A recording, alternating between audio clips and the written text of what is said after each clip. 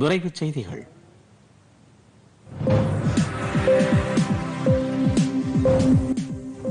திருவண்ணாமலை மாவட்ட நிர்வாகம் மாவட்ட வேலைவாய்ப்பு மற்றும் தொழில் நெறி வழிகாட்டு மையம் மாநில ஊரக வாழ்வாதார இயக்கம் மகளிர் திட்டம் மற்றும் அருணை பொறியியல் கல்லூரி இணைந்து தனியார் வேலைவாய்ப்பு முகாமை அருணை பொறியியல் கல்லூரியில் வரும் பதினொன்றாம் தேதி நடத்துகின்றன இதை முன்னிட்டு அருணை பொறியியல் கல்லூரி வளாகத்தில் மாநில தொழிலாளர் நலன் மற்றும் திறன் மேம்பாட்டுத்துறை அமைச்சர் கணேசன் நேற்று ஆய்வு மேற்கொண்டார் அதன் பின்னர் செய்தியாளர்களிடம் பேசிய அவர் தமிழகத்தில் இதுவரை நடத்தப்பட்ட பனிரண்டு தனியார் துறை வேலைவாய்ப்பு முகாம் மூலம் பதினான்காயிரம் இளைஞர்கள் வேலைவாய்ப்பு பெற்றுள்ளதாக தெரிவித்தார் திருவண்ணாமலையில் வேலைவாய்ப்பு முகாமில் நூற்று இருபத்தி ஐந்து நிறுவனங்கள் பங்கேற்பதாகவும் இதில் இரண்டாயிரம் இளைஞர்களுக்கு பணி நியமன ஆணைகள் வழங்கப்படும் என்றும் அமைச்சர் கூறினார்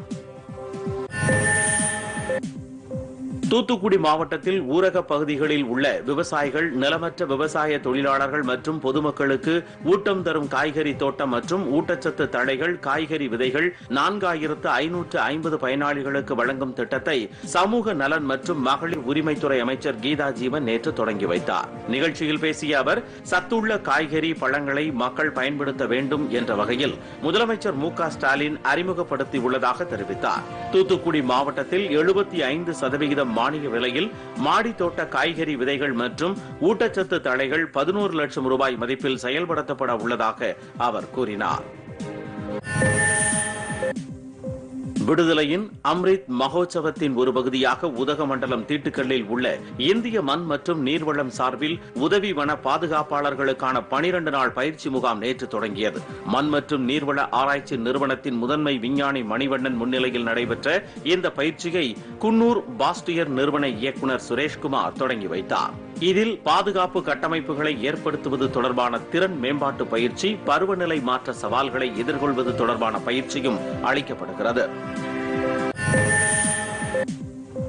விழுப்புரம் மாவட்டம் வானூர் மற்றும் மரக்காணம் தாலுகாவில் உள்ள கழுவேலி நிலப்பகுதிக்கு உள்நாட்டு மற்றும் வெளிநாட்டு பறவைகள் ஏராளமாக வருகின்றன இதனால் இந்த பகுதியை பறவைகள் சரணாலயமாக அறிவிக்க வேண்டும் என மாநில முதன்மை தலைமை வன பாதுகாவலர் மற்றும் தலைமை வன உயிரின பாதுகாப்பாளர் அரசுக்கு பரிந்துரைத்தனர் இதையடுத்து இப்பகுதியை சரணாலயமாக அறிவித்து தமிழக அரசு அரசாணை வெளியிட்டுள்ளது இதன் மூலம் மாநிலத்தின் பதினாறாவது பறவைகள் சரணாலயமாக கழுவேலி நிலம் உருவெடுத்துள்ளது இதற்கான தொடர்பான அறிவிப்பு அரசிதழில் விரைவில் வெளியிடப்பட உள்ளது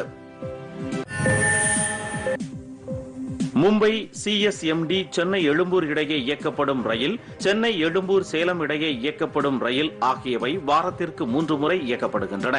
இவற்றை தினசரி இயக்க ரயில்வே நிர்வாகம் ஒப்புதல் அளித்துள்ளது மும்பை சென்னை எழும்பூர் அதிவிரைவு ரயில் டிசம்பர் பனிரெண்டாம் தேதி முதல் தினமும் இயக்கப்பட உள்ளது மறுமார்க்கமாக சென்னை எழும்பூர் மும்பை சிஎஸ்எம்டி இடையே வரும் பதினைந்தாம் தேதி முதல் தினமும் இயக்கப்பட உள்ளது சென்னை எழும்பூர் சேலம் விரைவு ரயில் பதிமூன்றாம் தேதி முதலும் மறுமார்க்கத்தில் பதினான்காம் தேதி முதலும் தினசரி ரயில்களாக இயக்கப்பட உள்ளன